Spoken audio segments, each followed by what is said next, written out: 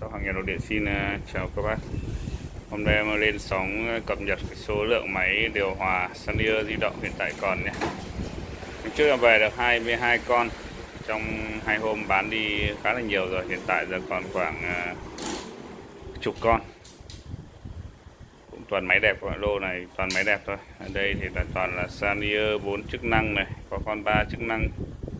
4 chức năng thì bao gồm là làm lạnh hút ẩm sưởi ấm và quạt gió. Ở đây thì phân chia ra các cái dòng máy thì là giá cả thêm báo giá như sau nhé cái dòng Sanier bốn chức năng này. Đấy.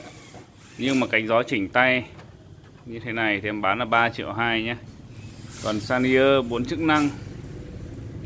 Đấy, lạnh hút ẩm sưởi ấm quạt gió như này. Mà cánh gió chỉnh tự động bằng nút này chỉnh điện đấy ạ điện nhé thì là ba triệu rưỡi. Ở đây được còn 1 2 3 4 5 con chỉnh điện 6 con chỉnh điện. Và con Sanio 3 chức năng không có nóng. Dành cho các bác không có nhu cầu dùng nóng. Đấy, lạnh hút đầu quạt gió cánh gió cũng chỉnh điện. Đấy, chỉnh điện thôi nhé mọi tính năng như kia.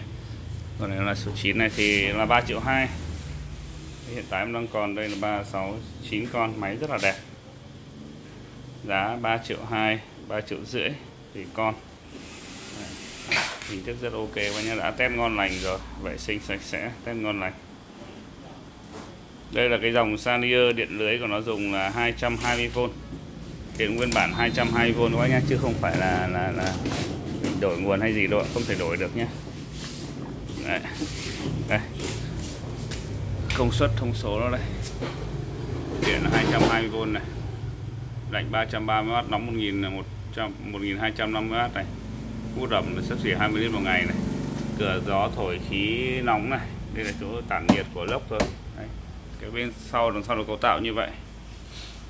Con máy này thì à, nó rất là cơ động. Có bánh xe di chuyển. Bánh xe đẩy đi khắp nơi được. Ngồi đâu có thể mang ra bật cắm điện trực tiếp, điện 220V mát luôn. Mùa đông thì ngồi đâu thích sưởi ấm luôn ngày nồm thì thích phòng nào đẩy sang phòng đấy hút ẩm. Bình thường các bác mua một con máy hút ẩm cũng 3 4 triệu. Đấy, nhưng mà chỉ được tầm khoảng tháng thôi là các bác phải gác bếp hết. Nhưng mà con này thì dùng trong bốn mùa luôn nhé. Dùng cả bốn mùa luôn, rất là tiện. Không có phải nghĩ ngợi gì cả. Dùng bốn mùa luôn.